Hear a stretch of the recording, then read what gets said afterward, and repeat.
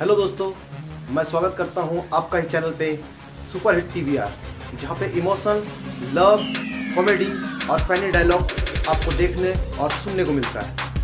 आज मैं आपको दिखाऊँगा सोले का ठाकुर और रामलाल का जुगलबंदी, जिसमें फनी डायलॉग और कॉमेडी होगा। तो ना लेट करें, आइए मेरे साथ चलते हैं। ठाकुर साहब ठाकुर साहब ठाकुर साहब। क्या हुआ रामलाल आज तो तुम पैसे की बात मत करना क्योंकि मेरे इस महीने के पैसे नहीं आए ठाकुर साहब यही कह कह कह कर तो पिछले छह महीने का पैसा नहीं दिए हो। अरे मैं आपका पिछवाड़ा धो धो के तो मेरे हाथ में छाले आ गए पर आपका पेंशन नहीं। अगर गब्बर ने मेरे हाथ न काटे होते। तो इतनी परेशानी नहीं आती रामलाल। ठाकुर साहब आप परेशानी की बात मत करो अब तो मेरी पत्नी को भी टॉयलेट जाना होता है ना शौचालय जाना होता है ना तो कहती है मेरे हाथ में दर्द है साथ में चलो। आप धोते बहुत अच्छे हो। ऐसा हाल हो गया ठाकुर साहब।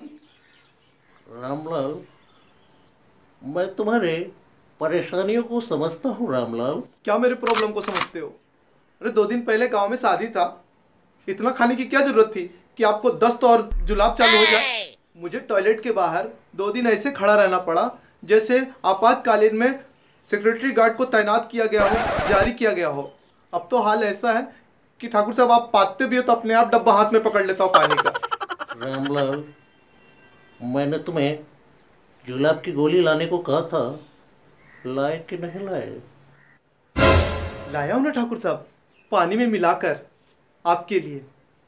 इससे अच्छा हो जाएगा जाम हो जाएगा। तुम कितने अच्छे हो रामलाल। अपने पैसे लगाकर मेरे लिए दवा लेकर आए हो रामलाल।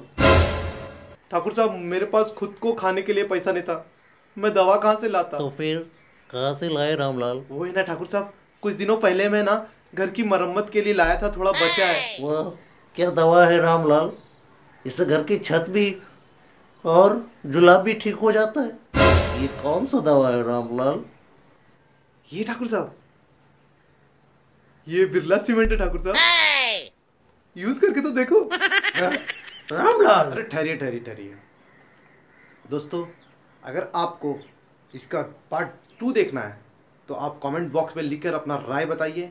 और अब तक जिसने मेरे चैनल को सब्सक्राइब नहीं किया है वो अब मेरे चैनल को सब्सक्राइब कर ले लाइक कर दे। It's the motherfucking Eagle Double G. Snoop Dogg